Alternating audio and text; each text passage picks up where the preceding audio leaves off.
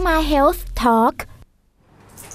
สำหรับรามาเฮลท็อกในวันนี้นะคะ เราจะพูดคุยกันถึงเรื่องของโรคมะเร็ง ซึ่งจริง ๆ แล้วเนี่ย คนจะกลัวมากที่สุด เพราะว่ามันเกิดโดยไม่เลือกคนไม่เลือกเพศไม่เลือกอายุ ปัจจัยเสี่ยงต่างๆ ก็ไม่ชัดเจน แล้วก็ไม่ได้มีวิธีรักษาให้หายขาด ใช่ไหมคะ ก็คือแล้วแต่มะเร็งด้วยนะคะพี่หญิงอ๋ออ่าแต่ว่าโดยโดยหลักการของมะเร็งที่ต่างจากเนื้องอกก็คือมันค่ะ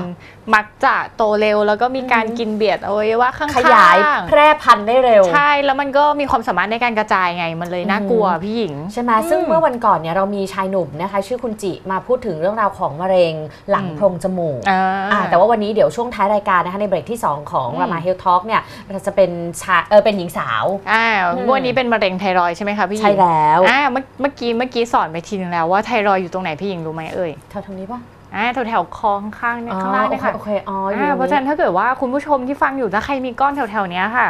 ลองจับที่ก้อนแล้วลองกลืนน้ำลายเออใช่อืมถ้าเกิดเป็นก้อนไทรอยด์เนี่ยมักจะมีการเคลื่อนตามการกลืน แต่จะเป็นก้อนอย่างอื่นก็ได้นะก้อนหรือลูกกระเดือกคะ ฮะพี่หญิงไม่รู้จะจะเป็เป็นนอะอะไรไรได้ได้เหเหรรออคะอ๋อมันมีความรู้สึกแบบ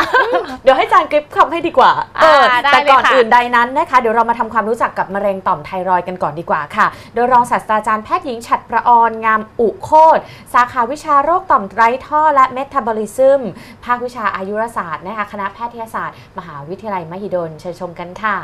ต่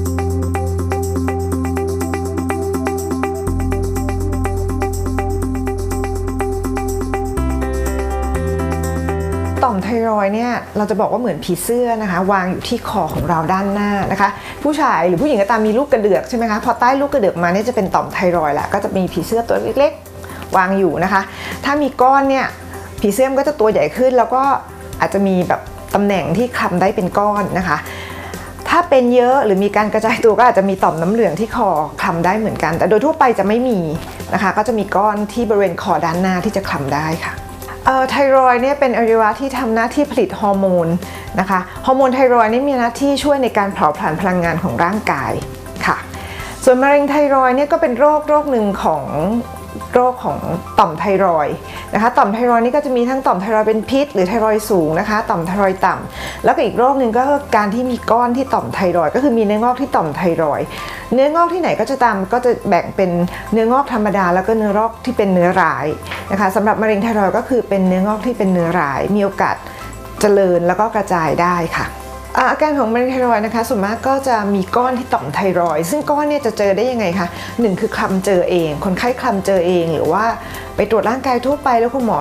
คลำพบนะคะอีกทีเราอาจจะมีการทำเอ็กซเรย์ต่างๆ เช่นอัลตราซาวด์บริเวณคอแล้วไปเจอว่ามีก้อนอยู่ในต่อมไทรอยด์ค่ะ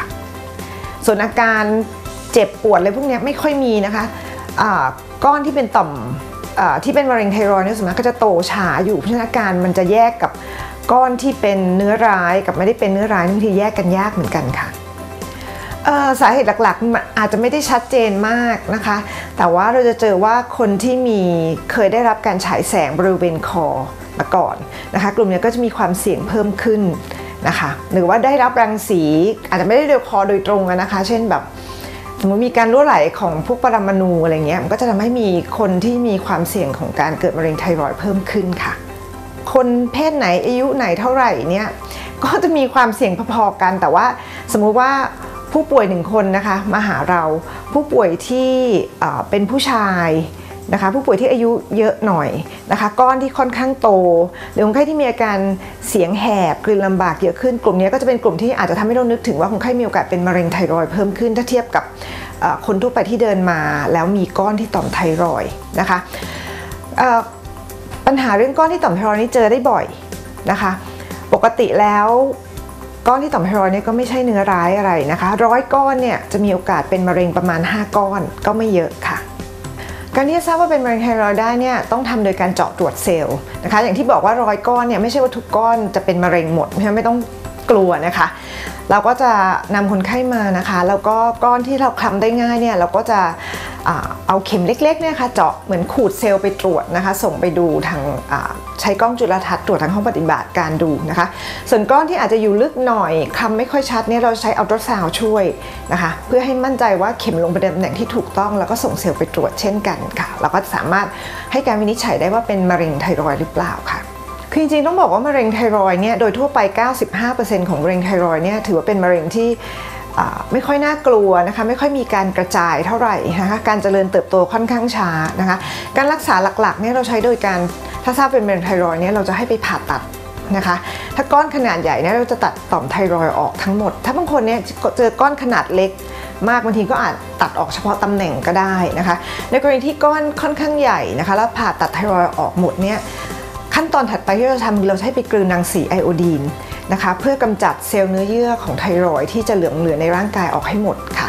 ก็จะจบขั้นตอนประมาณนี้นะคะ หลังจากนั้นเนี่ยเนื่องจากโดนตัดไทรอยไปเราก็จะให้กินฮอร์โมนไทรอยทดแทนในปริมาณที่ค่อนข้างเยอะหน่อย เพื่อเป็นการกดการทำงานของต่อมไทรอยไว้ จริงๆภาวะแทรกซ้อนของมะเร็งไทรอยเนี่ยไม่ได้หนึ่งไม่ได้เกี่ยวกับ ตัวก้อนโดยตรงนะคะ อันแรกส่วนมากเป็นการภาวะแทรกซ้อนหลังการผ่าตัดนะคะ มันก็จะมี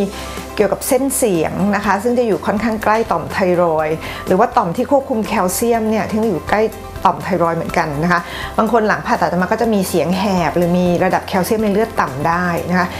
ส่วนภาวะแทรกซ้อนของตัวมะเร็งเองเนี่ยที่จะกระจายไปต่อมน้ำเหลืองหรืออวัยวะอื่นเนี่ยมีบ้างนะคะ แต่อย่างที่บอกก็คือน้อยมากค่ะ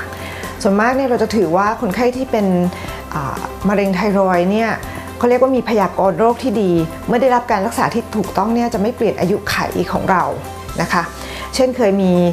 คนไข้ที่ดูอยู่นะคะ เป็นพยาบาลอาจารย์ท่านอื่นดูมาก่อนตั้งแต่พี่เขาเป็นตอนประมาณ 20 จนตอนนี้พี่เขาปีหน้าเกษียณแล้ว ก็ยังทำงานทำอะไรทุกอย่างได้เป็นปกตินะคะ ถือว่าเป็นโรคที่มีพยากรณ์โรคดีมากค่ะการดูแลของผู้ป่วยเนี่ยจริงๆก็ดูแลสุขภาพทั่วไปนะคะ แต่อย่างในปีแรก ๆ ที่เราดูผู้ป่วยเนี่ยเราก็จะนัดมา นะคะ มาดูว่ามีการอาการเป็นยังไง มีระดับการเปลี่ยนแปลงอะไรของฮอร์โมนในเลือดได้ตามเป้าหมายที่เราต้องการหรือเปล่านะคะ เราอาจจะมีการทำเอ็กซเรย์นะคะในช่วงปีแรกๆเนี่ยเพื่อดูว่ามีการกลับมาของโรคหรือเปล่านะคะอาจจะปีละครั้งหรืออปีหนึ่งสองครั้งอย่างเงี้ยทำในช่วงปีแรกๆหลังจากนั้นเนี่ยเราก็จะห่างขึ้นนะคะอาจจะปีหนึ่งอาจจะเจอหมอสักสองครั้ง หรือปีละครั้งอย่างเงี้ยนะคะคือกลัวก็ต้องมาตรวจนะคะว่ามี ก้อนที่เรามีเนี่ยนะคะอาจจะคลำได้หรือเจอโดยสาวิธีใดก็ตามเนี่ยเป็นมะเร็งหรือเปล่าจำเป็นต้องเจาะตรวจนะคะ ถ้าเจาะตรวจเสร็จอย่างที่บอกนะคะ ต่อให้เป็นมะเร็งไทรอยเนี่ยพยากรณ์โรคดีนะคะ จริงๆ หมอมะเร็งอะนะคะหมอที่ให้ยาพวกคีโม หรือฉายแสงเนี่ยโดยทั่วไปก็ไม่ต้องดูคนไข้กลุ่มนี้เพราะถือว่าพยากรณ์โรคดีสามารถรักษาให้หายขาดโดยการผ่าตัด แล้วก็กลืนรังสีไอโอดีนนะคะ ที่เหลือก็ปฏิบัติตัวตามปกตินะคะ กินยาให้สม่ำเสมอนะคะ ก็คืออาฮอร์โมนไทรอยด์ไม่ขาดนะคะแต่ในกรณีที่ต้องกินฮอร์อ่าแคลเซียมเสริมเนี่ยก็ทานแคลเซียมเสริมเข้าไปด้วยค่ะ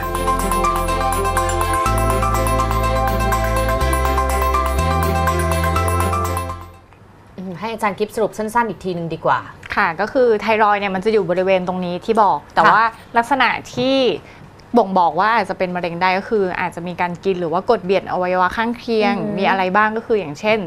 เสียงแหบ ค่ะอ่าเพราะว่าเนื่องจากตัวไทรอยด์เนี่ยมันจะอยู่ใกล้ๆบริเวณเส้นประสาทที่มันมาควบคุมการขยับของเสียง มันอาจจะทำถ้ามันกินตัวเส้นประสาทตัวเนี้ยมันอาจจะทำให้เสียงเกิดอัมพาตได้ แล้วก็เสียงแหบได้ค่ะอ่าอีกอันนึงก็คือมันจะอยู่ติดกับหลอดอาหารอืมเพราะฉะนั้นบางคนเนี่ยถ้าเป็นก้อนที่ไทรอยด์แล้วมันไปเบียดกับหลอดอาหารปุ๊บมันก็จะทำให้มีอาการกลืนติดกลืนลำบากได้อืมอ่าอีกอันนึงก็คือมันติดกับหลอดลมค่ะอ่าเพราะฉะนั้นถ้าเกิดว่ามันโตหรือว่าไปกินหลอดลมเนี่ยคนไข้ก็จะมีอาการเหนื่อยได้อ่า